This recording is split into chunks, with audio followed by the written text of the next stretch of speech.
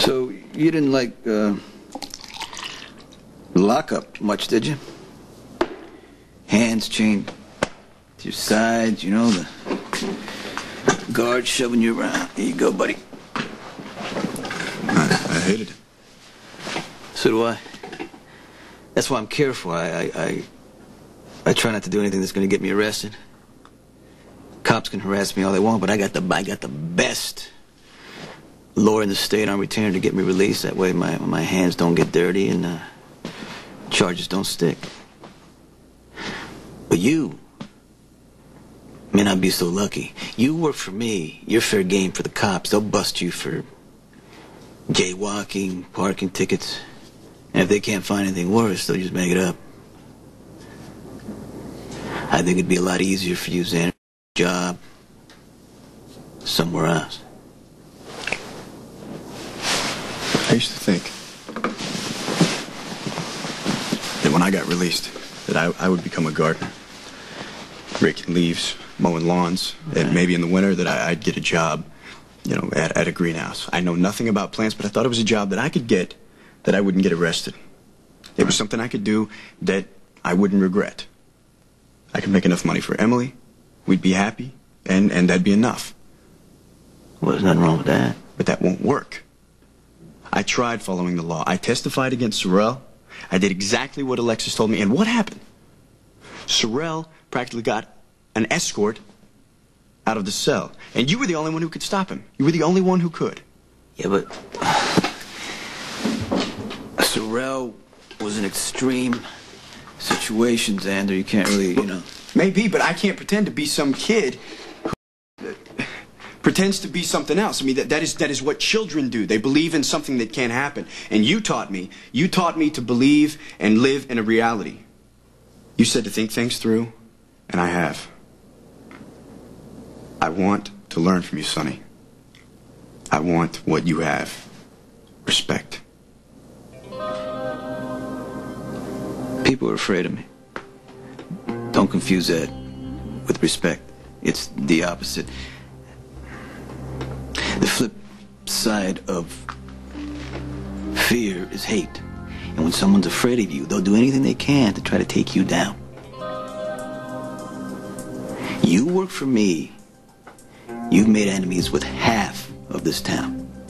And that includes your girlfriend's family. You sure this is what you want? It's my life. Times I screwed it up most, when I played by everyone else's rule. I know now. Your way is better.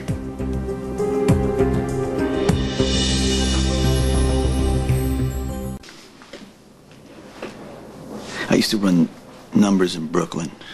I was a kid, a lot younger than you are. I didn't know what I was doing. But I do. Yeah, right. These these these people I worked for, they they were, you know, they had power, cars, suits, suits that cost more money than my stepfather made in two months.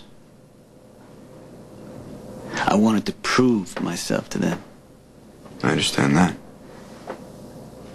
I was dependable. I was steady. I knew how to how to watch, how to wait. I used to.